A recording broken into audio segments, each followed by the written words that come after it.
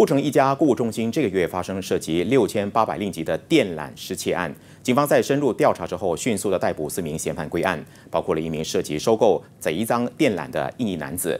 由于落网的其中三名乌裔男子都有毒品前科，警方不排除他们是为了筹集资金买毒品才会不惜铤而走险。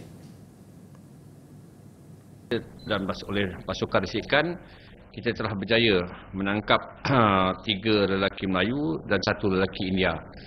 Tiga lelaki Melayu inilah yang telah dikenal pasti berada pada hari kejadian 10 Mei menaiki sebuah kereta lah. Dia telah melanggar bom gate tu dan menyebabkan kerosakan dan dia kemudian cuba mencuri kabel lah di kawasan tu. 落网嫌犯介于二十三到三十一岁，警方在行动中成功起获多件干案工具和电缆。嫌犯主要使用租车，目标锁定人烟稀少的建筑或停车场干案。 案件将在刑事法典第三七九偷窃条文和四幺四私藏贼赃条文下调查。根据了解，电缆的市价每公斤大约是三十六令吉。根据警方起获的交易收据，嫌犯每单交易可以赚取三百到一千五百令吉。